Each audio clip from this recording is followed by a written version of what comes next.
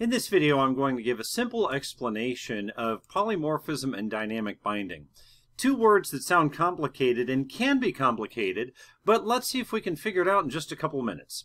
So first of all, let's say we have a class called vehicle, and it has a method called drive and a method called go, and the method called drive invokes the method called go.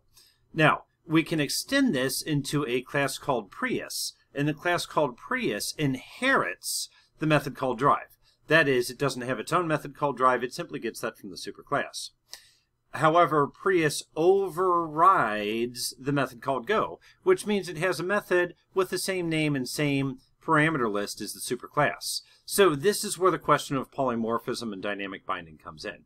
The first case is fairly straightforward. Let's say we declare a new variable of type vehicle and give that variable name v, and we assign to it an object of type vehicle. And then we invoke v.go. Which go method is going to be invoked? The go method in vehicle. Now, what if we call v.drive? Well, there is only one drive method, and it's going to invoke go, and which go method?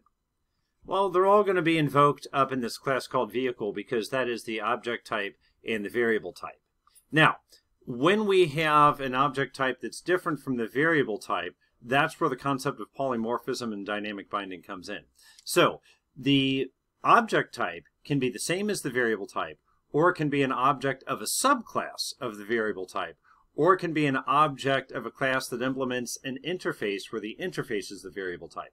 So either the same type or some kind of direct descendant, but it can't be completely different. So let's say that we have our uh, vehicle, V is the variable, and Prius is the subclass here, which is the object that we're creating. Well, polymorphism tells us that the variable type tells you what methods you're allowed to call, and the object type tells you what's going to happen when you call those methods. Polymorphism. So this is an example of polymorphism.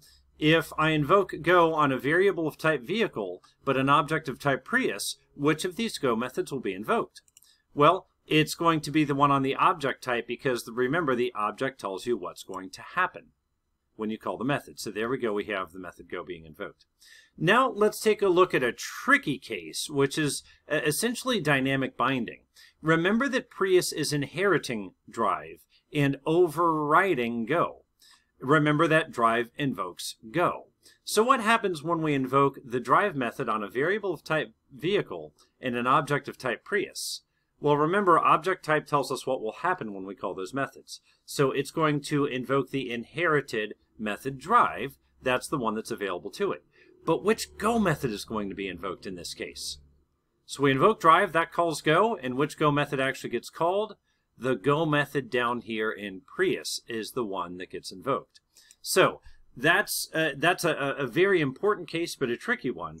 If you invoke an inherited method, and that method invokes a method that you are overriding, and you are the object type, then the one that you are overriding is going to get invoked, even though the inherited method uh, is the one that was called initially. So that essentially is dynamic binding. I hope this explanation helps a little bit. I have several videos where I go through code demonstrations in the debugger.